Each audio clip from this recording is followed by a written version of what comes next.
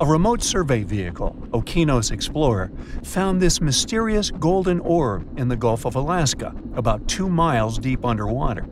No one can say what this thing is. It's a strange object just 4 inches wide, and it was firmly stuck to some rock.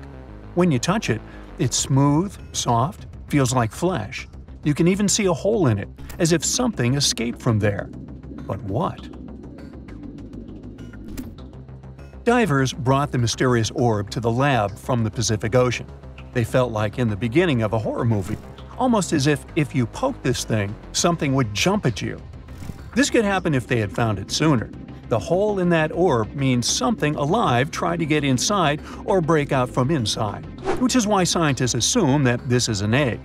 We might have discovered a new species, or a new life stage of some species we already know. Some species do lay their eggs on the ocean floor, like squids. Although, if that's the case, then these animals might be gigantic, because that egg is huge. But maybe it's not an egg, maybe it's a sponge. They found this thing surrounded by white coral, where sponges usually vibe. Just months before this discovery, scientists found more than 5,000 new marine species in a tiny space between Hawaii and Mexico. The Gulf of Alaska is home to 52 more species, with tons yet to be identified. So, maybe it's just one of those sponges we haven't discovered yet. Or it might be a coral, or something entirely different. The only thing scientists know for sure is that the thing is a living organism. They're planning to move the orb to a more advanced lab to conduct DNA testing and reveal more about it. And it's not our first horrifying discovery from the oceans. In 2013, two rare locomotives were discovered under 90 feet of water off the coast of New Jersey. Scientists think that both of them were lost in the 1850s. For something that's been underwater for 160 years, they're in very good shape, even with layers of rust and barnacles. You can even see their smokestacks, and they sit upright, as if ready to pull into a station any minute now. They're not sure where these locomotives came from, there's no historical record of them being built or lost, which makes their discovery even more mysterious. They have strangely rare steam engines, both about 15 tons, lying 5 miles off Long Branch. The engine models were already outdated even back when these trains were made. They were small and powerful, but were only produced for a short time. Perhaps they were on a journey from Boston to the mid-Atlantic. Then a storm struck. It caused them to either fall off a barge or to be deliberately pushed off to save the ship. Scientists want to restore the locomotive to learn more about them, and this isn't the only gift to the seas humans left behind. Jeff Bezos, founder of Amazon, has found the Apollo 11 F-1 rocket engines in the ocean. During the 1969 Apollo 11 mission, the Saturn V rocket used five powerful F-1 engines in its first stage, each of them produced 1.5 million pounds of thrust. They burned 6,000 pounds of fuel per second, a million and a half times that of a regular car. These engines burned for a few minutes before falling back into the Atlantic Ocean. Jeff Bezos got inspired by this story and began the search for those engines about a year ago. The team used an advanced deep sea sonar. They finally found the engines 14,000 feet below the ocean surface scientists aren't sure what the conditions of the engines will be. They did have a super fast impact with the ocean after all, and then laying over 40 years in salt water. But they were built from very tough materials, so hopefully we'll be able to study them. Ideally, Bezos wants to recover them. They're still a NASA property, but he hopes to display them in museums like the Smithsonian or the Museum of Flight in Seattle.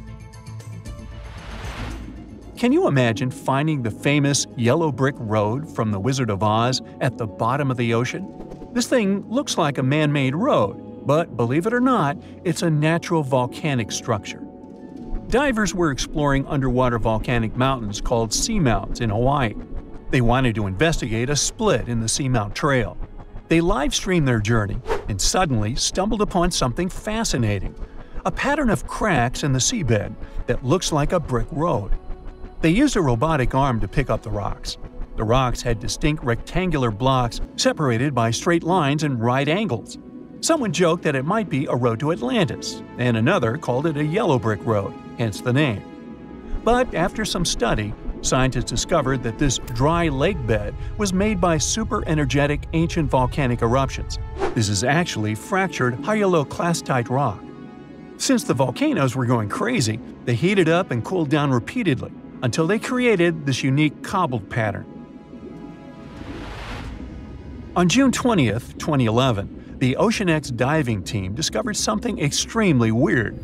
They were searching for treasure in the northern Baltic Sea in the Gulf of Bothnia. Instead, they found an anomaly.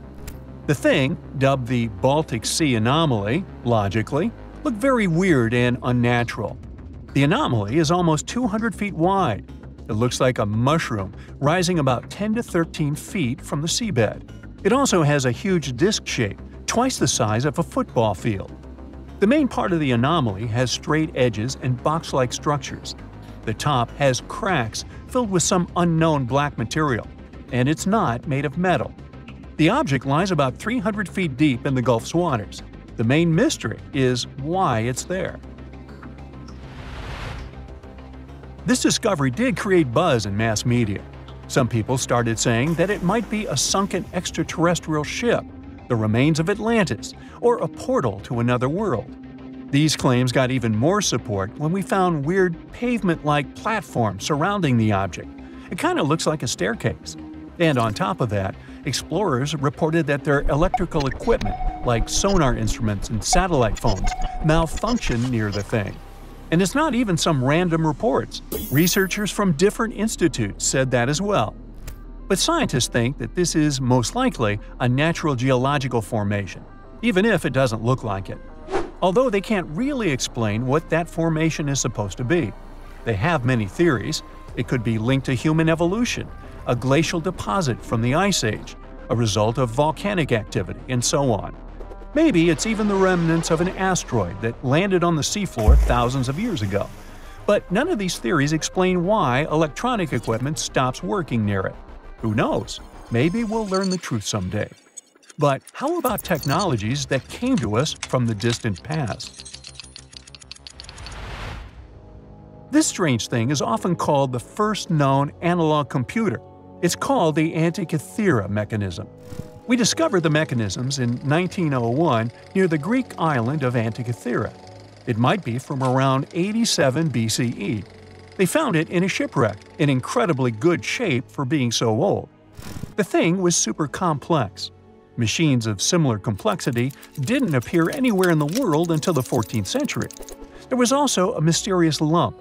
When they separated into multiple fragments, they found inscriptions inside. They were hard to read because of all the corrosion, but when they deciphered it with X-ray, they discovered that these were the instructions, telling how exactly to use it. Wow, what a gift to archaeologists! So, it turns out the mechanism was made to predict astronomical positions and eclipses decades ahead. Ancient scientists used this computer to track the four-year cycle of athletic games, similar to the ancient Olympics. The mechanism had a very intricate structure of 37 bronze gears that tracked the movements of celestial objects. But at least here, we know that these things were made by humans, right? That's it for today. So hey, if you pacified your curiosity, then give the video a like and share it with your friends. Or if you want more, just click on these videos and stay on the bright side.